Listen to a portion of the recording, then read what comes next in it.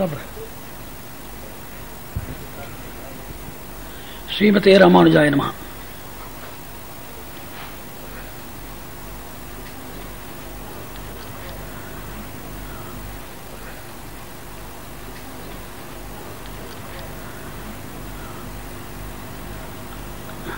அறிவின் வழி செயல்படக்கூடிய மனித இனம் எப்பொழுதும் ஏதேனும் ஒரு செயலில் தன்னை ஈடுபடுத்திக் கொண்டு ஒரு பலரை நோக்கி பயணித்துக் கொண்டிருப்பது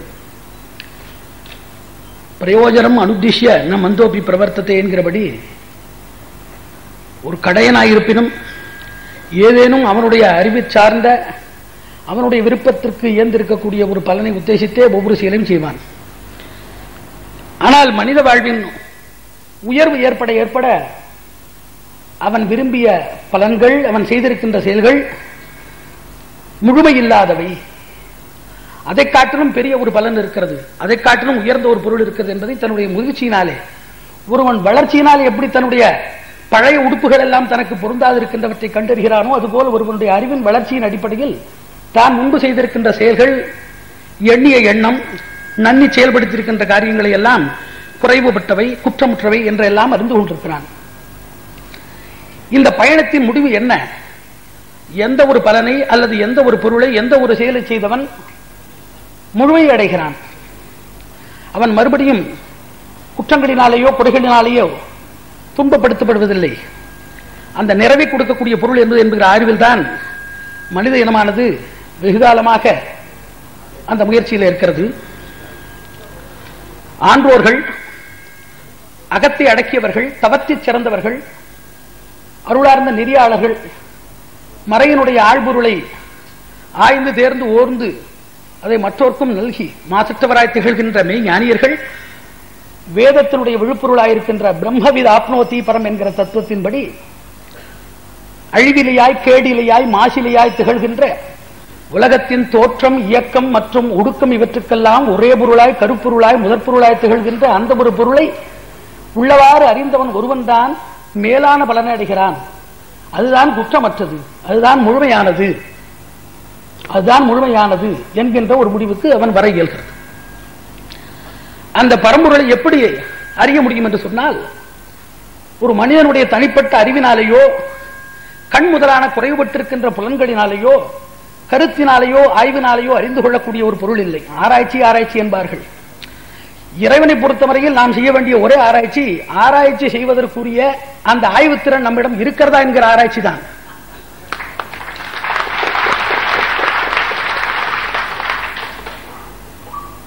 எப்படி ஒருவன் கண்களினாலே ஒரு பொருளுடைய ருச்சியை தெரிந்து கொள்ள முடியாதோ காதுகளினாலே ஒரு பொருளுடைய நறுமணத்தை நுகர முடியாதோ அதே போல் புலன் மாறுபாடாய் பரிசுத்தமான அன்பினாலே தெரிந்து கொள்ள வேண்டிய இறைவனுடைய தத்துவங்களை அவனே எமைவேஷ விபுருணத்தே தென லப்யா தசேஷ ஆத்மா விபுருணத்தே தனும் சுவாம் என்று கணிந்து வந்திருக்கின்ற பேரன்பினாலே எம்பெருமான் தானே எழுவரும் இயல்பினாய் காட்டி அறிவித்தால் ஒழிய தன்னுடைய அறிவினாலே ஆய்ந்து தெளிந்தார் இவரும் இல்லை இப்படி வேதங்களுடைய தத்துவ முடிவின்படி அந்த பரம்பொருள் எது வேண்டும்? அதற்குரிய இலக்கணம் எல்லாவற்றுக்கும் முதலும் முடிவுமாய் இருப்பது அதை தெரிந்து கொள்வதற்கு வேதம் வழிவகுக்கிறது. அந்த வேத வேதமாகிற பிரமாணமானது அப்பௌருஷயம் என்பார்கள். எவராலும் செய்யப்படாத வேதம் ஒரு வகையான பிரமாணம் அப்பௌருஷயம் எம்பெருமானாலே அருளூட்டப்பட்டு அதனாலே மாசற்றவர்களான மெய்ஞான வேதியர்கள் தவத்திற் சிறந்தோர்கள் காட்டிய சாஸ்திரங்கள் எல்லாம் பௌருஷயம். எம்பெருமானே தானே வந்து இறங்கி தன்னுடைய சோதிவாய் திறந்து அருளி செய்த சாஸ்திரங்கள் பரம பௌருஷயம் இப்படி பரம பௌருஷயமாக இருக்கக்கூடிய பிரமாணம் ஐயம் திரிபு இருள் துயக்கு மயக்கு மறப்பு வஞ்சம் முதலான குற்றங்களுக்கு அப்பாற்பட்டிருக்கின்ற பகவத்கீதை. ஆகையினாலே அது எல்லாவற்றை காட்டிலும் வெள்ளிடை மலையென கையடை நெல்லிக்கணி என நமக்கு மிகச்சிறந்த பிரமாணமாய் இருப்பது. இப்பொழுது பிறந்து பிறந்து இறந்து கொண்டிருக்கின்ற மனிதர்களுடைய உயர்வு நிலை என்ன? அவன் உயர்வது எப்பொழுது என்றால் மறுபடியும் பிறவாமையின் பொழுது. அதே போல் பிறப்பிறப்பை கடந்திருக்கின்ற இறைவன் உறவு பெறுவது எப்படி? சிறப்புறுவது எப்படி என்றால் பிறந்து வரும்பொழுது. சவுஸ்ரேயான் பவதி ஜாயமானக என்று வேதம். பிறப்பு இறப்பையே தனக்கு இயல்பாக கொண்டு சம்சார மண்டலத்தில் தோல்மாறி பிறந்து கொண்டிருக்கின்ற இந்த ஜீவன்களுக்கு உயர்வு பிறவாமை என்பது போல பிறப்பிலையா இருக்கின்ற எம்பெருமானுக்கு உயர்வு ஏற்படுது. அவன் இங்கு வந்து பிறப்பதினாலே யுவா சுவாச பரிவீத ஆகாது சவுஸ்ரேயான் பவதி ஜாயமானகா. பிறக்க பிறக்க நாம் செய்வது போலே அவன் பிறக்க பிறக்க பெருமை உரைக்கிறான் மணி உராய உராய மென்மேலும் அதனுடைய மெருகு கூடுவது போல எம்பெருமானுடைய பெருமை இன்னும் சீறு பெற்று வீறு பெற்று விளங்கான் இருக்கிறது. அவனுடைய பீடு சிறந்து விளங்குவது அவன் ஒவ்வொரு அவதாரங்களை செய்யும் பொழுது. எம்பெருமானை பரவாசுதேவனாக தெரிந்து அவனிடத்து அன்பு செலுத்தியவர்களை காட்டிலும் இங்கு நாட்டில் மனுஷர்க்காய் பிறந்து படாதனப்பட்டு ராமனாய் இருக்கும்போது அவனை அனைவரும் அன்புடன் நாடினார்கள். கண்ணனாய் பிறந்து மண்ணின் பாரதம் நீக்குவதற்கே இங்கு வந்து பிறந்து நம்மோடு கலந்து உயிராக பழகி எல்லாரோடும் சேர்ந்து நம்மோடு இவனும் ஒருவன் என்று எண்ணலாம்படியாக இருந்த கண்ணனாய் வந்த பொழுது இன்னும் அவன் மீது காதல் கூடிற்று. ஆக அவன் இறங்க இறங்க அவனுக்கு பெருமை. அவன் இறங்குவதனுடைய நோக்கம் என்ன? அவதார பிரயோஜனம் என்பார்கள். அந்த அவதார பிரயோஜனம் என்ன? என்பதை எம்பெருமான் தானே கீதா சாஸ்திரத்தில் சொல்லியிருக்கிறான். எம்பெருமான் செய்திருக்கின்ற உபகாரங்கள் மூன்று.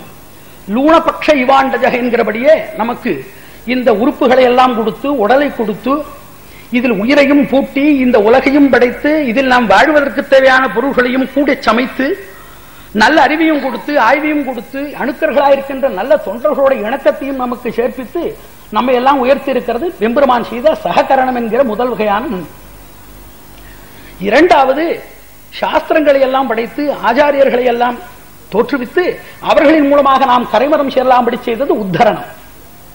பிறகு தானே அடியார்களுடைய விசலேஷம் அதாவது பிரிவு தாங்க ஒண்ணாதவனாய் அவர்களுக்காக இறங்கி வருகின்ற நிலை அவசரணம் என்கிற மூணாவது நிலை. ஆக எம்பெருமான் அறிவிலே முதிர்ந்தவர்களை மேலே வா என்று ஏணியை வைத்து அழைக்கிறான். அன்பினாலே கணிந்தவர்களை இரு நானே இறங்கி வருகிறேன் என்று சொல்லி அதே ஏணியில் தான் கீழே இறங்கி வருகிறான். அதுவே அவதாரம் என்று ஆண்டோர் பகிர்ந்தார். அவதாரா அசங்கேயாக ஹரேர் சத்வநிதேர் ஜிஜாக யதா விதாசின புல்யா சரசஸ்யு சகஸ்ரசா. இந்த அவதாரங்கள் எண்ணில் அடங்காதவை. ஏட்டிலே வந்தவை சில.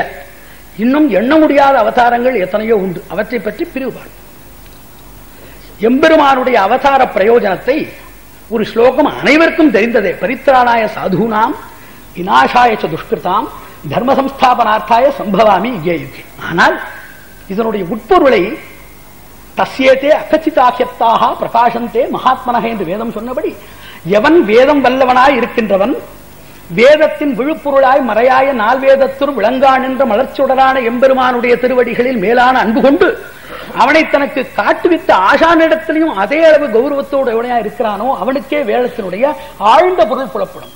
புறப்பொருள் அகப்பொருள் ஆழ்பொருள் என்பது போல ஆழ்ந்த பொருள் ஆச்சாரியானுகிரகத்தினாலேயும் எம்பெருமானுடைய நோக்கற்ற அளவிடற்கரிய பெருங்கருணையினாலே மட்டும் காண ஒன்றதா இருப்பது.